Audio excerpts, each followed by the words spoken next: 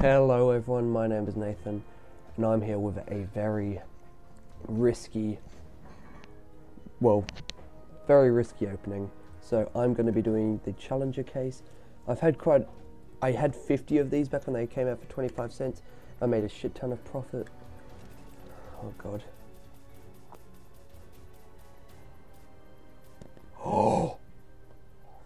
I've just made I've just made 16 bucks, guys.